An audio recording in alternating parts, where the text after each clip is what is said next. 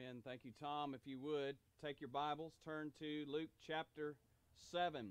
Luke chapter 7, we're uh, picking up. We stepped aside from Luke last week for Easter Sunday, and we're stepping back to uh, where we left off in Luke chapter 7. We're going to look this morning in verses 36 down through verse number 50. Luke chapter 7, 36 through 50. As you're turning there, I'll just set the stage for what we're going to be looking at because in this passage of Scripture, we are confronted with uh, the most important thing for believers, for unbelievers, the most important commandment, the most important expectation of God for us, and that is a love for Jesus Christ, a love for God. If you were to look back in Mark chapter 12, uh, Jesus is approached by a lawyer. He's approached by one of the scribes, and the scribe comes to Jesus and he asks him a question. He says, Teacher, tell us what is the foremost commandment? What is the most important commandment in the law of God? And Jesus, without hesitation, begins to quote for him Hear, O Israel, the Lord our God is one. You shall love the Lord your God with all of your heart, with all of your soul with all of your mind and all of your strength. This is the first and the greatest, the first and the most important commandment. So, the, the most important thing for us this morning is that we love God with all of our heart, with all of our soul, with all of our mind, and with all of our strength. This is of first importance. If you go all the way to the book of Revelation, you find Jesus sending letters to the churches of Revelation. And one of those churches is the church of Ephesus. And in that letter to the church of Ephesus, he commends them for their deeds. He commends them for their toil and their hard work, their, their perseverance. He, he commends them that they won't tolerate evil, that they put to test people who call themselves apostles and yet are in reality false teachers. He commends them for their perseverance and their enduring through seeming persecution for his name's sake, and, and that they've not grown weary in well doing. But he said, I have this one thing against you. I have this one thing against you that you have left your first love. So, all of these wonderful things that characterize the church of Ephesus are under a cloud and are under a shadow of the reality that they're working, yes, they're enduring, yes, they're being faithful, yes, they're believing truth, yes, they're standing up for truth, yes, but their love has grown cold. And Jesus says they need to remember from where they've fallen. They need to repent. They need to return to the way they were at the beginning. Or else, he says, I will remove your lampstand from its place unless you repent. Now, that lampstand represents the church. That lampstand represented the church at Ephesus. So here's what Jesus is saying to them You may believe truth. You may know truth. You may stand for truth. You may persevere in the truth. You may endure suffering for my name's sake, but if you fall out of love with me, I will shut your church down. As we consider our scripture this morning in Luke chapter 7, verses 36 through 50, we need to ask ourselves do we love Christ? How much do we love Christ? And what keeps us from loving Him more? And since this is the most important thing, we need to ask ourselves how can we cultivate yet a deeper love for Jesus? We get some insight in Luke chapter 7. Let's begin in verse number 36. It says, Now one of the Pharisees was requesting him to dine with him. And he entered the Pharisee's house and reclined at the table. And there was a woman in the city who was a sinner. And when she learned that he, Jesus, was reclining at the table in the Pharisee's house, she brought an alabaster vial of perfume and standing behind him at his feet, standing behind Jesus at his feet, weeping, she began to wet his feet with her tears. Now you have to get this picture. When people ate their meal in the Middle East, they didn't sit down a, in a chair and they didn't sit down at a table and pull themselves up to eat like we do. No, what they would do is the table was down low and they would actually recline. They would lie down and they would put their weight upon one of their elbows and they would eat with the other hand. They were really close to the table that way, and they were just kind of leaned over the table eating. So Jesus is reclined here at this table. He stretched out on his elbow. He has his feet out behind him, which is an open opportunity for this woman to kneel herself at his feet. and she begins, the Bible says, to wet his feet. She's weeping and she begins to wet his feet with her tears. In the Greek, that word wet literally means to rain. So get this picture. She's not just shedding a tear, she is raining tears down on the feet of Jesus. And the story goes on, and she kept wiping them with the hair of her head. Now, notice she is raining tears down on the feet of Jesus, and she takes her hair and she begins to wipe the tears from Jesus' feet with her hair. This is absolutely amazing to consider because in the Old Test in the New Testament culture, in the Middle Eastern culture, for a woman to let her hair down in public was extremely, extremely shameful. For a woman to let her hair down in public would be grounds for divorce. Jewish ladies did not unbind their hair in public. But she was insensitive to cultural rules. She was insensitive to cultural expectations. And she took her hair down, and the Bible refers to a woman's hair as her glory. So she takes her very glory and she begins to wipe her tears from his feet. It goes on and says not only was she wiping them with the hair of her head, but she was kissing his feet. And the Greek word there for kissing is the word kataphileo, and it's an intense word. And if you know the story of the prodigal son, when the prodigal son has gone away and his father's sitting on the porch and he's waiting for him, he's hoping for him to return. When that prodigal son finally comes home, it says that his father ran out to meet him, he embraced him, and he kissed him. That's the picture that we have here of what this woman is doing to the feet of Jesus. It's a continual kissing and embracing and of, of this prodigal son. She's continually kissing and kissing and embracing his feet. So she kept wiping them with the hair of their head. She kept kissing his feet and then anointing them with the perfume. Many Jewish women carried around their necks a vial of perfume on a cord, which they kept with them all the time. Uh, it was sort of a deodorant. You know, they didn't have Right Guard or Dove or whatever. So they carried this alab- they carried this flask of perfume around their neck, and they would kind of use that as a deodorant. It was not uncommon for women to spend a good portion of money on deodorant. I read one account where a man allowed in the family budget his wife 400 coins of gold, 400 gold coins each year to buy perfume. I don't know what he was trying to cover up, but apparently 400 it took 400 gold coins to cover up whatever he was trying to cover up in this lady. So these women wore this deodorant. She, and she didn't. She comes and she doesn't take the lid off of this flask.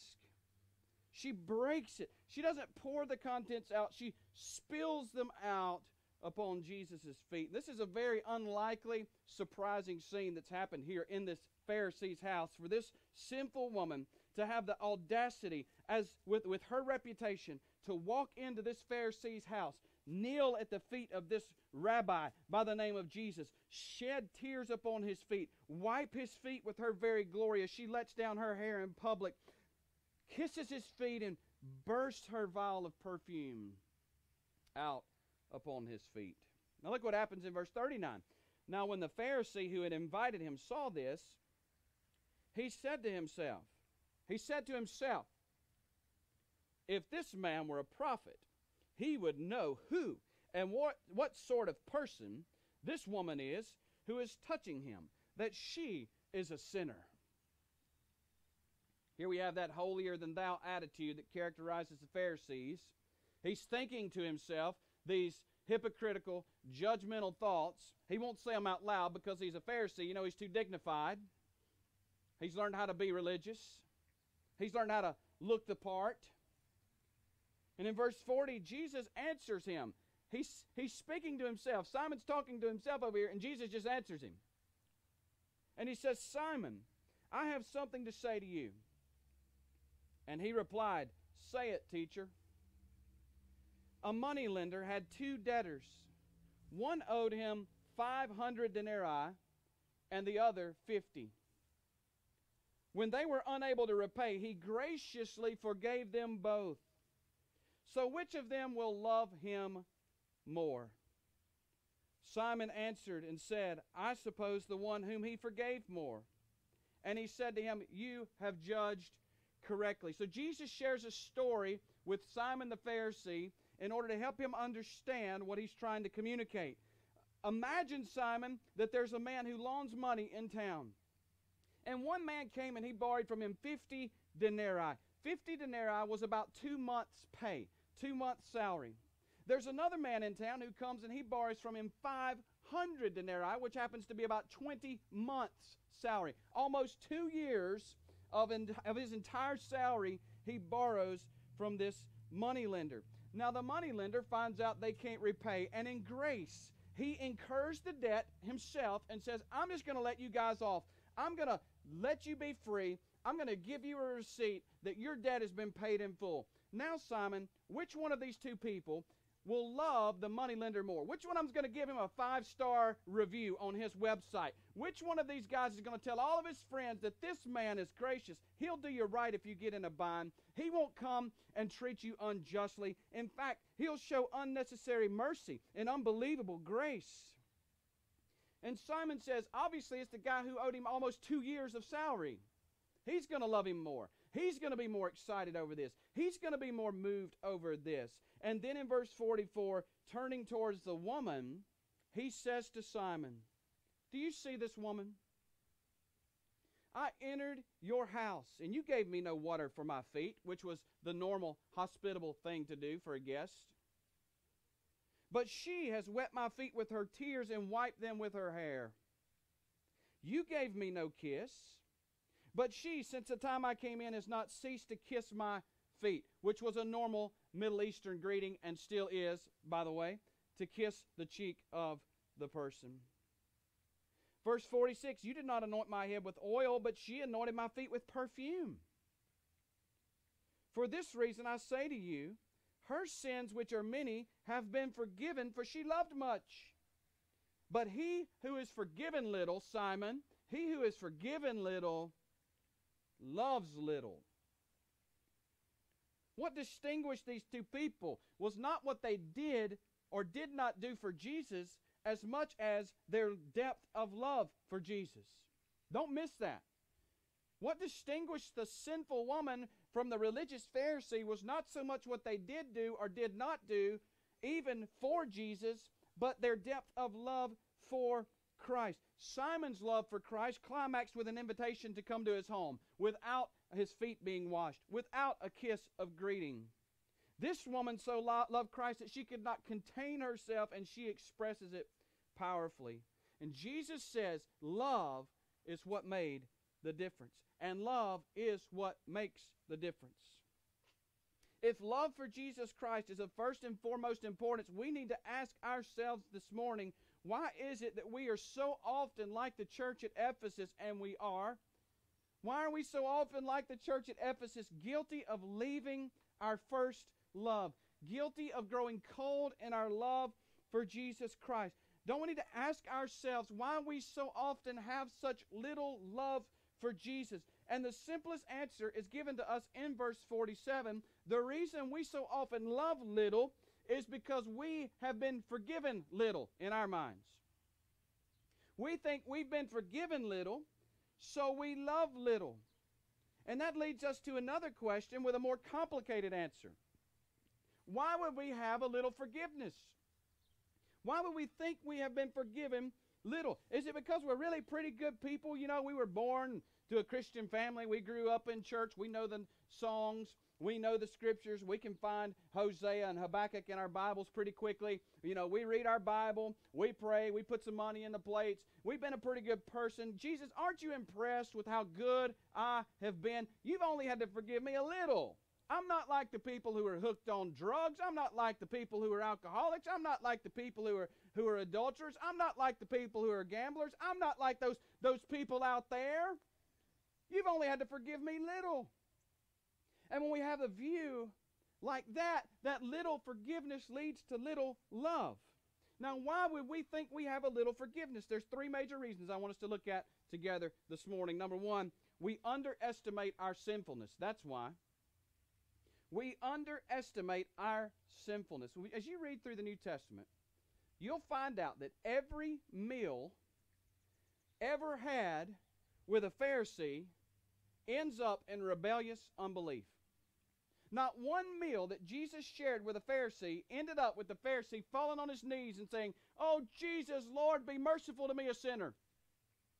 Every meal ever had with a Pharisee ends up in rebellious unbelief. Why? Because self righteousness is a terrible, terrible kind of blindness.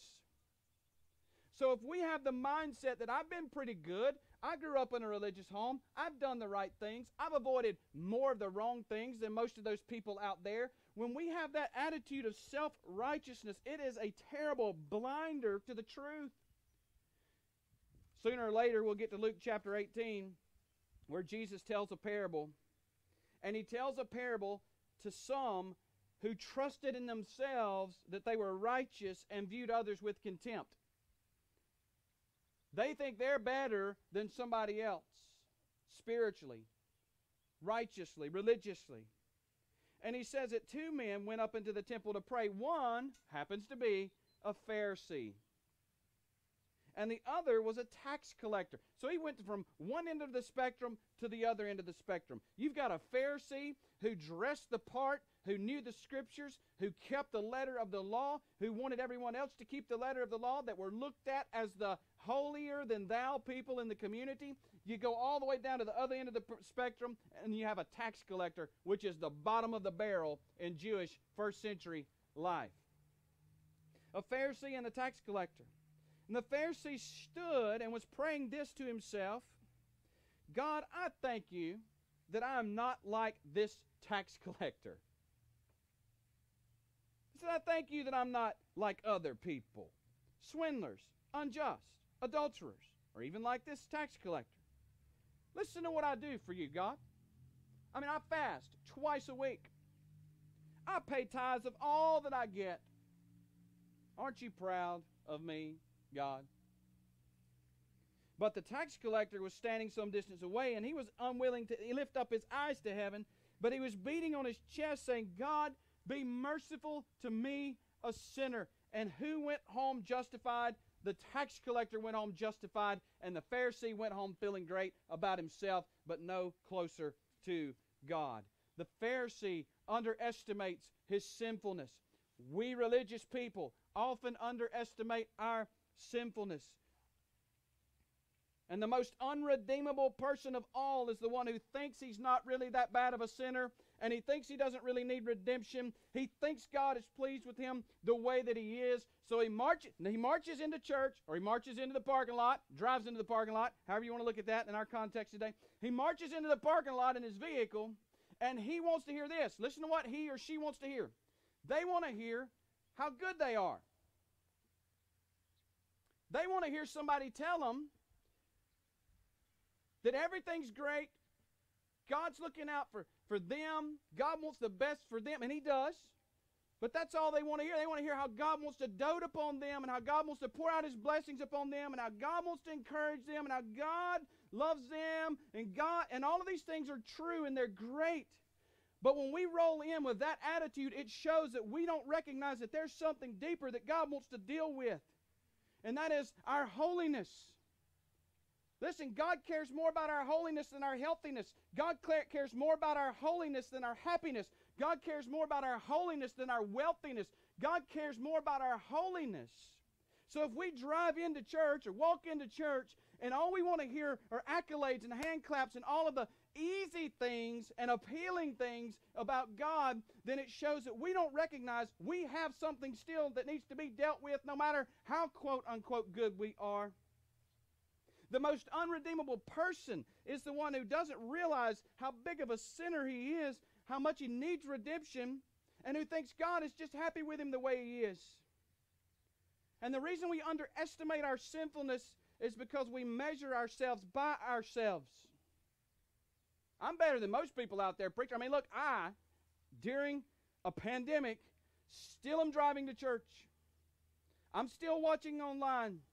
I'm still sending in my tithe. I'm still reading my Bible. Look at our community. Look at the sin in our community. I'm not caught up in those things. Look at the sin in our state. Do you realize all of the things that the people in our state are doing right now that are sinful that, that I'm not? Look at our country and the shape it's in. I mean, every time I watch the news, every time I look around, I feel better about myself. And as long as we're measuring ourselves by people out there, and as long as we're measuring ourselves horizontally, as long as we're measuring ourselves by ourselves, we're going to underestimate our sinfulness every time. 2 Corinthians chapter 10 and verse 12 says, We are not bold to class or compare ourselves with some as those who commend themselves. But when they measure themselves by themselves and compare themselves with themselves, they are without understanding. As long as we're looking horizontally, we will find ourselves without understanding. We need to stop measuring ourselves horizontally and start measuring ourselves vertically.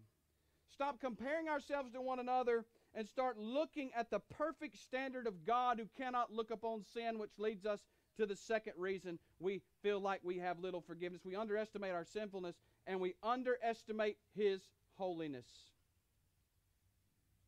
Almost every time I talk to people about their salvation, their spiritual condition, it gets frustrating because everybody thinks they're okay. They make a case for their spiritual condition. You know, I believe in God. I believe in Jesus. I grew up in church. I was baptized. I'm a member of so and so church. I'm a pretty good person. Failing to realize that we, like this debtor in the story that Jesus told, are unable to pay, no matter how much good we do.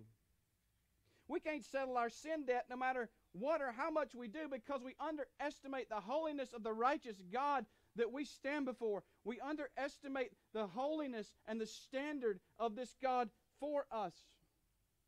We need to see His holiness. And I know that I've gone to Isaiah chapter 6 over and over again to show you the holiness of God. I know that I've gone to Revelation 4 and 5 over and over again to show you the holiness of God. So I'm not going to take you back there this morning. I'm going to take you somewhere else. Let's go to Ezekiel chapter 1. Now, you know when the pastor says turn to Ezekiel, anything can happen, right? If you've read Ezekiel, you know that anything can happen. We're going to keep it safe, and we're going to look at chapter 1, and we're going to look at verses 4 through 14 first. And I want you, to the best of your ability, as we read this together, I want you to envision in your mind's eye what Ezekiel is seeing and what he is attempting to describe for us.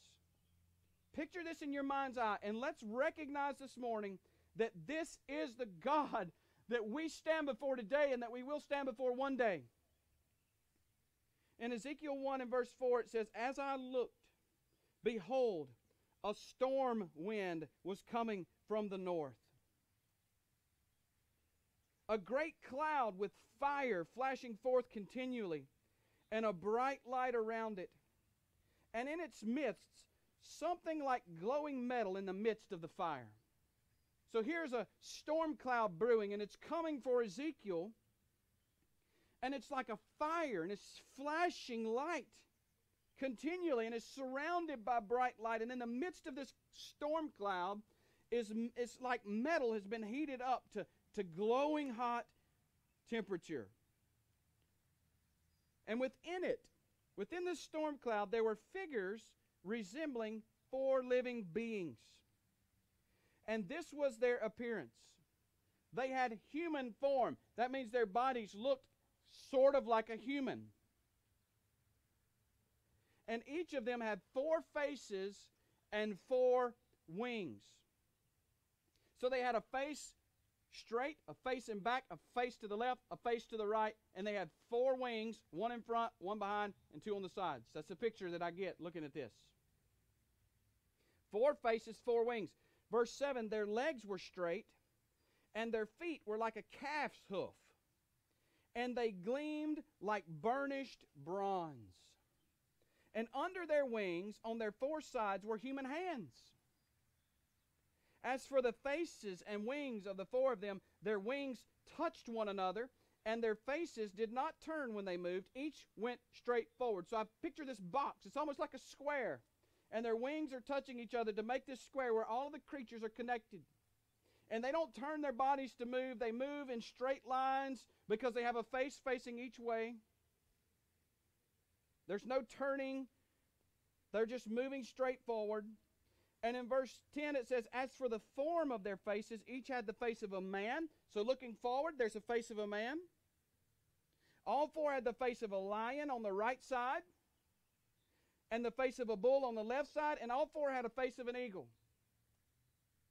Such were their faces. Their wings were spread out above. Each had two touching another being, and two covering their bodies.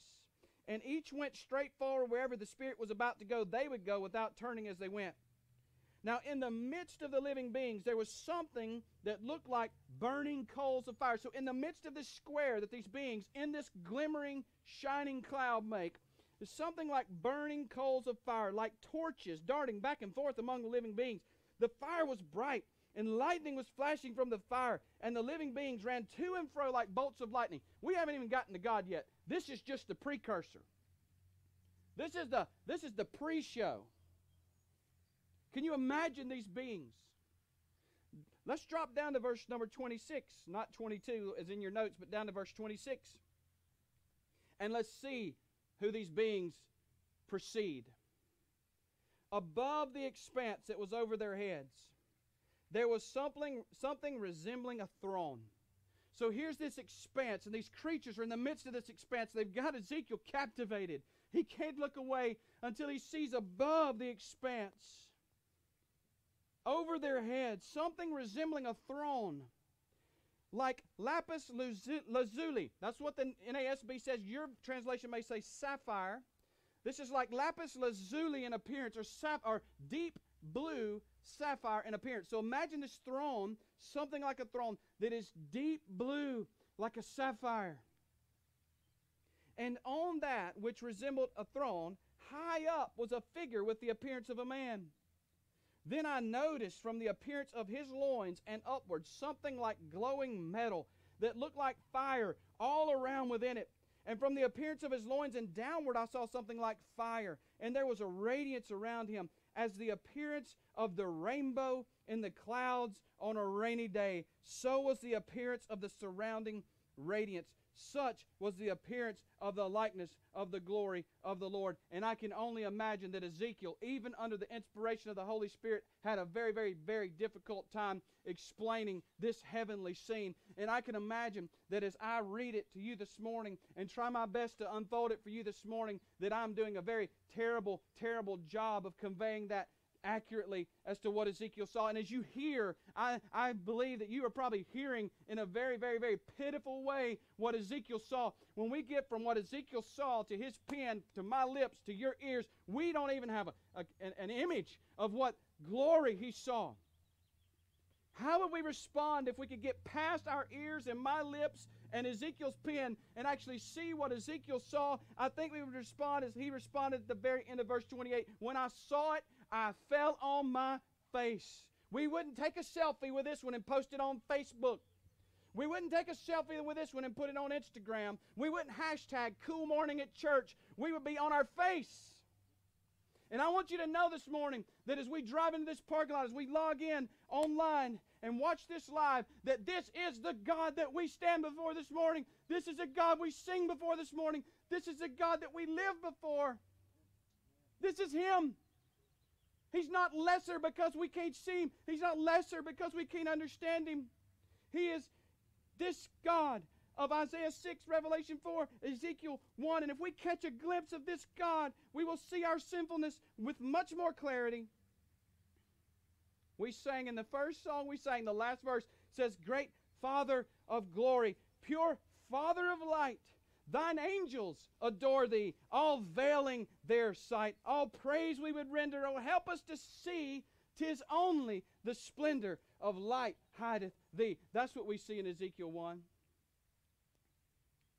And we see the holiness of God. And we see our sinfulness more clearly. When we, when we analyze our sinfulness vertically rather than horizontally, here's what we may be tempted to do. And this is what some of you leave with because you don't get past this. Week after week, I hear it from you. You don't get past this point. You miss the last point. And the last point is we not only underestimate our sinfulness because we underestimate God's holiness, we also have a little forgiveness because we underestimate God's forgiveness. You can't see the forgiveness and the mercy and the grace and the love and the compassion of God if all you hear every time you tune into your favorite preacher or every time you pull up to church is how wonderful you are. Yes, that will fill up the pews. Yes, that'll fill up the parking lot. Yes, that'll fill up your, your likes on Facebook. But that will not fill up your soul. We have to see our sinfulness in light of God's holiness, and we are brought to the depths of despair and frustration and aggravation and feel like we can't. We're hopeless and we're helpless, and that is when we turn to see God's great forgiveness. Don't underestimate His forgiveness. If you leave here frustrated because you hear of the holiness of God and our sinfulness every week, then it's because you are still underestimating the forgiveness that is available in Christ Jesus. Some of you think my sin is too big, my sin is too great. It's been too long, and God could never forgive me. Well, I know I've told this a thousand times, and if I can think of something better, I guess I'll keep telling it. But I want you to imagine with me again Jesus on that cliff. If you've heard this before, just listen again. Imagine Jesus on that cliff with his back to the, to the, to the cliff where it plummets off into the ocean. And the tide in that ocean is going out to sea. And you approach Jesus this morning. You've been, you've been in this place and you have seen your sinfulness. You've seen his holiness. You've caught a glimpse. Imagine yourself going to Jesus and giving him your sin, whatever that sin is you think he can't forgive, whatever that sin is you can't get free from, whatever that sin is you can't find peace in, whatever that sin is that you think's too big, too old, been going on too long, bring it to Jesus. Confess your sin. See your sin as he sees it. Repent of your sin. Give that to Jesus. And what will he do with it? Jesus will take that sin and he will cast it on the ground and he will crush it underneath his feet. He will pick your sin up after crushing it under his feet and he will throw it behind his back. And as that sin goes behind Jesus' back, it will plummet off the cliff and it will go into the very depths of the sea. And as the tide goes out, it will take your sin with it as far as the east is from the west, and Jesus will wipe his hands and remember it, hold it against you no more, and there will be no condemnation for those who are in Christ Jesus. No condemnation. That's exactly what he does. Micah 7 19, he will tread our iniquities underfoot. Isaiah 38 7, 17, you've cast all my sins behind your back. Micah 7 19, you will cast all our sins into the depths of the sea. Psalm 103 12, as far as the east is from the west, so far does he remove our transgressions from us. Jeremiah 31 34, I will forgive their iniquity, I will remember them, their sin no more. Listen to me. If you leave this place discouraged, it's because either one, you have tuned out before you've gotten to the end of the message, or two, you have you are still underestimating the power of Jesus Christ to forgive. Because when we see our sinfulness in light of His holiness, and then we see that in spite of that, in spite of that, there is great forgiveness in Jesus Christ. How do you leave discouraged? Unless you refuse to repent. Unless you refuse to believe, how do you leave discouraged when you see the forgiveness of Jesus? See your sin in light of His holiness. See His great forgiveness available to all who believe. And if you do, He will say to you what He said to that woman in verse 48. He said to her, Your sins have been what? Forgiven. Now, did she walk out of there going, Man, I'm such a horror. I just, I've blown it with my life. I wish I could go back and undo the things I've done. God, I'll just do some penance. I'll do penance the rest of my life. I'll cover myself in sackcloth. I'll cover myself in ashes because I know what Jesus said. I know what the Bible says, but I just don't believe it. It's not enough. Is that how she left? He said to her, Your sins have been forgiven. And we know that based upon her love for Christ, she knew it, she believed it, she embraced it. And those who were reclining at the table with him, oh, they're still on their holy high horse. They've got their seminary degrees, and they know this doesn't line up with, with Theology 101. How can this man, they say, even forgive sins? Let's strain at the gnat, swallow the camel, and miss the Messiah because of our theological education, Pharisees. Who is this man who even forgives sins? And in verse number 50, he said to the woman, Look at what he said. Your faith has saved you. Go in peace. It was not her tears from a broken heart that saved her. It was not her humble ministry as she let down her hair and wiped his feet that saved her. It was not her sacrificial service as she anointed his feet with oil that saved her. It was her faith in the work and the grace and the mercy and the forgiveness of Jesus Christ that saved her and gave her peace. Listen to me. Here's what you need this morning. If you have seen your sinfulness in light of His holiness and you believe that He is able to forgive, you need not penance. You don't need works. You don't need to bust out your perfume. You don't need to shed a lot of tears, though that's okay. You don't need to let down your hair and wipe his feet. You need to believe. Ephesians 2 8, 9, for by grace you have been saved through faith. By grace through faith, and that not of yourselves. It is the gift of God, not as a result of works, so that no one may boast. You can have a big forgiveness this morning, which will result in a big love for Jesus Christ today if you will just by faith bring your sin to Jesus. And he will crush them under his feet, throw them behind his back, cast them into the depths of the sea, take them as far as the east is from the west, and he will remember them no more. That's what he came to do. That's what he came to accomplish for me and for you. To be a mediator, to bridge the gap between the holiness of God in Ezekiel 1 and the sinfulness of me and you, and to become our mediator, the atonement for our sin, the payment for our sin, to incur our debt. And all of us owe more than we could ever pay to pay that price for us on the cross, to rise from the grave on Sunday morning, so that we can be reconciled to God and forgiven and made a new creation. Would you this morning see your sinfulness? Would you see God's holiness? Would you believe that He can forgive you? If so, by faith, turn from your sin, put Him at His feet, and believe in what He did for you on the cross, and you will be saved. Let's pray. Father, we thank you for your grace, your mercy, your love. Thank you for these people that are here this morning, for their willingness to come, for their willingness to park, for their willingness to listen, for their willingness to turn on the computer and be intentional about sitting in front of it and paying attention and taking notes, for the willingness to be here in spirit or in body. We thank you for that. We pray that you've spoken. We pray that you would work. We pray that we would respond as you would see fit for us to respond this morning. In Jesus' name we pray. Amen.